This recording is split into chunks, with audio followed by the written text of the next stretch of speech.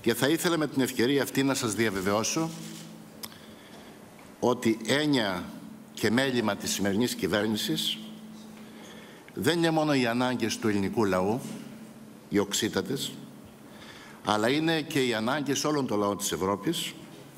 Και όπως έχω την ευκαιρία να εξηγήσω στη συνέχεια, η πολιτική που εφαρμόζουμε και η συμφωνία που επιδιώκουμε με τους ευρωπαϊκούς θεσμούς κατά την άποψή μας είναι προς το συμφέρον όχι μόνο του δικού μας λαού αλλά και των λαών και όλης της Ευρώπης.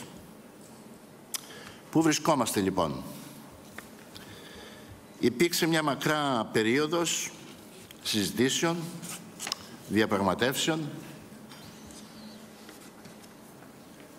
Εκείνο το οποίο θέλω να καταστήσω σαφές είναι ότι η ελληνική κυβέρνηση θεωρεί ότι μετά από τις συζητήσεις που έχουν προηγηθεί, σε πολλαπλά επίπεδα μάλιστα, τεχνικά και πολιτικά, οι συνθήκες κατά την άποψή μας είναι απολύτως όριμες για μια τελική συζήτηση επί συγκεκριμένων κειμένων με στόχο τη διαμόρφωση μιας αμοιβαία αποδεκτής συμφωνίας.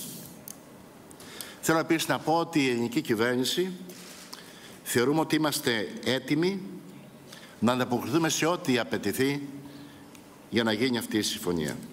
Εννοώ ότι έχουμε όχι απλώς προτάσεις, αλλά και γραπτά διατυπωμένες συγκεκριμένες προτάσεις σε όλα τα θέματα τα οποία έχουν ανακύψει στην πορεία αυτών των συζητήσεων. Διαβάζουμε σήμερα στο διεθνή τύπο διάφορα σχόλια, μεταξύ των οποίων και σχόλια που μιλούν για ενδεχόμενα τελεσίγραφα που κάποιοι ενδεχομένως θα ήθελαν να δώσουν να, προς την κυβέρνηση, την ελληνική. Θα ήθελα να καταστήσω σαφές ότι για μας η Τρόικα τέλειωσε. Και τέλειωσε με την ψήφο του ελληνικού λαού. Και αυτή η ψήφος δεν μπορεί να αγνοηθεί από κανέναν.